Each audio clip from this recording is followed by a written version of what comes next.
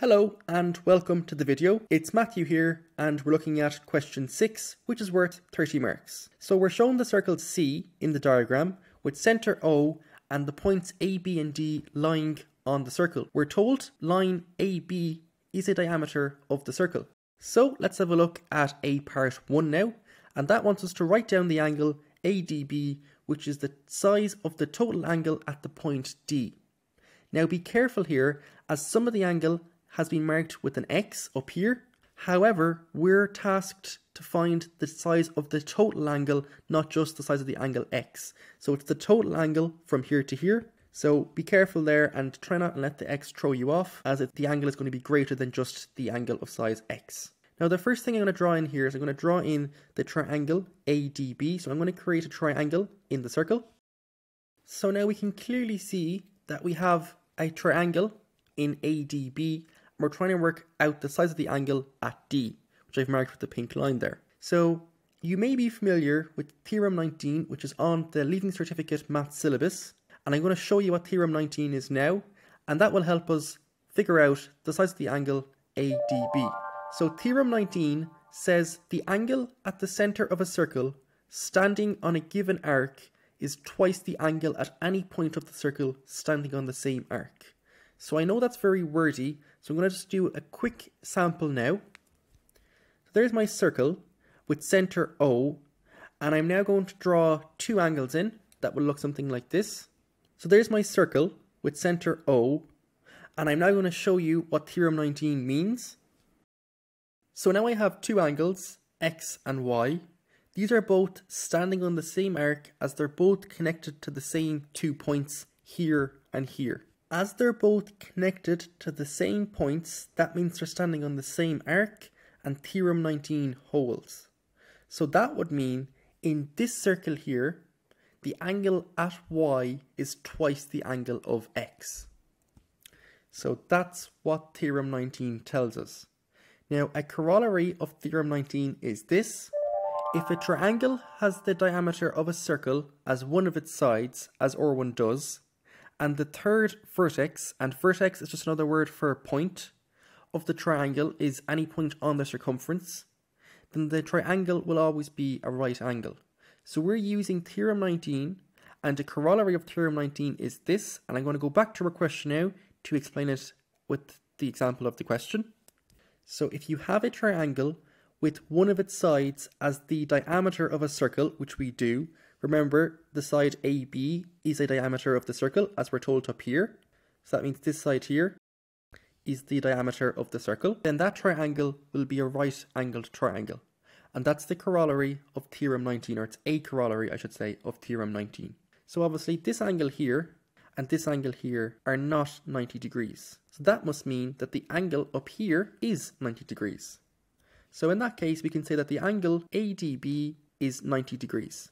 And that's our answer for A part 1, and that was worth 5 marks. So if you aren't familiar with the theorems and the corollaries, I do recommend going back over them as they can really help you with questions such as this. So now let's have a look at A part 2, and this tells us that the angle AOD is 130 degrees. So now we have to work out the size of the angle marked X. So I told you before, try not to get distracted by the X, now we have to work out what x is. So the first thing I'm going to say is that the angle here is equal to 130 degrees as we're told. We know that AB is a straight line. So that means in total, this angle here should be 180 degrees. So I'm going to call this angle here y, as we know that 130 plus y should equal 180 degrees, as there are 180 degrees in a straight line. So to work out y, I'm just going to take away 130 from both sides. And obviously 130 minus 130 is 0. So on the left hand side I'm left with y, then 1, 180 minus 130 is simply 50. So that angle there that I labelled y is equal to 50 degrees. So now I have to work out the size of the angle x. And now the next thing I'm going to show you is I'm going to mark in another triangle and this time it's the triangle ODB. Don't worry, we're not going to use the same theorem again. It's going to be a different rule this time. And the triangle ODB looks something like that. Now, one thing that we can say is that the distance from the center of a circle to any point on the circle is equal to the radius. And here, the center of the circle is O, and we're told that at the start of the question. So that means the distance from O to A, from O to B and from O to D is all equal to the radius. So that means that in this particular question here, that O to B, which is this side here, is equal to the distance from O to D, which is right here. So that means that this triangle here is an isosceles triangle. In an isosceles triangle, the two angles at the base, so that's going to be where the x's and this side over here will be equal. So basically, the two pink angles there that I've marked will be the same. So whatever x is, it's also equal to this angle over here, which I'm also going to mark as x, and they will be the same because it's an isosceles triangle. The same way two sides are the same, two angles are also the same, and it's those two angles there. So it's not the angle that's between the two sides that are equal, it's the other two angles at the base. So we know, of course, in a triangle, there's 180 degrees. We know that one side is going to be 50, and the two other sides are both x, as they're both the same. So let's solve that now using algebra. So we can add x and x together, and x plus x is obviously 2x. So that gives us 50 plus 2x is equal to 180. And then I'm going to take away 50 on both sides, and obviously 50 minus 50 is 0, so I'm left with 2x is equal to 180 minus 50, which is 130. So now I have to work out what x is, I don't want 2x, I just want 1x. So to do that, I'm going to divide both sides by 2. So just a bit of a hint, whenever you have a number with an x, so for example 2x is equal to some other number, and you just want the x value, not the 2x value, just divide both sides by 2. So 2x divided by 2 is x, and 130 divided by 2 is 65 degrees. So therefore, x is equal to 65 degrees. And that's our answer for A part 2, and it was worth 5 marks. Now let's have a look at A part 3, and here we're told that the radius of the circle is 18 centimeters, and now we have to find the length of the arc AD, giving our answer in centimeters in terms of pi. So let's have a look. So the length of the arc AD is this arc here.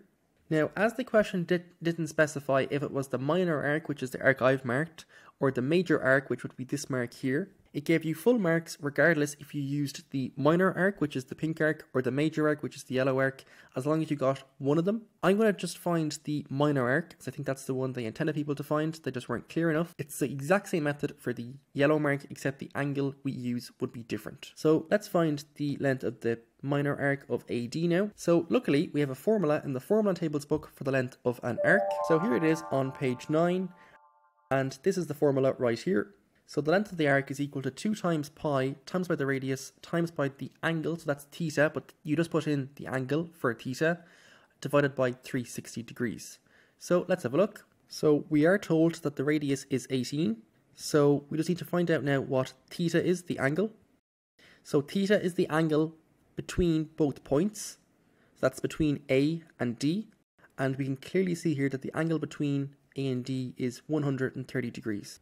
So now popping this into the formula, we get 2 times pi times by 18 times by 130 over 360. So now we can pop this into our calculator and see what we get. So 2 times pi, and to get pi you click shift and then this multiplied by 10 to the power of x button down here as the pi is in yellow just above it. And then you get 2 pi times by 18 times by 130 over 360 and you get 13 pi. It told us to keep our answer in terms of pi so we'll keep our answer as 13 pi centimetres. Now that was to get the minor arc which was the smaller arc that I marked pink at the start. To get the major arc you would do a similar thing except your angle would be the other side which I'll just show you now. So your angle would instead be this angle here which I'm sure you could work out as 230 degrees as of course there are 360 degrees in a full circle so taking away the 130 there and you're left with 230 degrees. So you would just put in 230 instead of 130 and you will get your answer for the major arc which should be 23 pi centimeters. So they said they get, they get full marks regardless of which arc you found, the minor arc or the major arc. That's our answer for A part 3 and that was worth 10 marks. Now let's have a look at part B. So part B shows us two statements and we have to say if they're true or false. So let's have a look at statement A first. And this says if two triangles are similar, then they must be congruent. So before we explain this or before we answer this, I'm just going to give you the definition for similar triangles and congruent triangles. Okay, so this isn't the reason. This is just a definition before we actually answer the question. And I'm going to do similar triangles first. So two triangles are similar if the three angles are the same. So the lengths of the sides of the triangle do not need to be the same, but the angles themselves must always be the same. So I'm just going to do a few examples of that now. So both of these triangles on screen here are similar as they all have the same angles. Now clearly one of them is bigger than the other, but that does not matter as the sides do not need to be the same, the only the angles need to be the same, that's all. So that means both of these triangles are similar, but they are not congruent, and I'll explain why they're not congruent in a second, as um, congruent is when triangles are the exact same angles and sides. So that's the definition for similar triangles. Now let's see what congruent triangles are. So this time in congruent triangles, all sides and angles are equal. They're all the same in both triangles, okay? So just to draw an example of that now. So both of these triangles are actually congruent. So if you count the sides, you'll see that this is equal to 3 units. This is also equal to 3 units down here. So that means that side's equal with that side. We can also say that this side here is 6 units. That's equal to that. We know that there's 90 degrees in here and 90 degrees in here. So them two angles are equal, which means that Pythagoras' theorem must hold and the opposite side must also be equal to each other. So both these sides are the same. And if you measure the angles, you will also find that this angle is equal to this angle and that this angle is equal to this angle. So the two purple angles, the two x's and the two 90 degrees are equal and all sides are also the same. So even though they're not facing the same way, they don't have to be.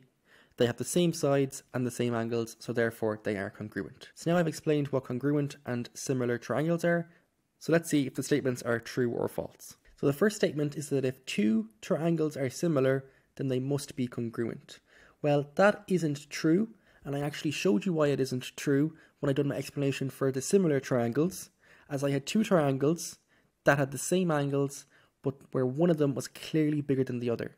That meant while it had the same angles, it didn't have the same sides, and therefore it was not congruent. So the reason is, tri two triangles could have the same angles, but one of them could be larger or smaller than the other, therefore it would not be congruent. So that's your answer for B part 1. Now let's have a look at B part 2, and this says that if two triangles are congruent, then they must be similar. Well, this is true. As I explained before, congruent triangles are two triangles where all sides are equal and all angles are equal in both.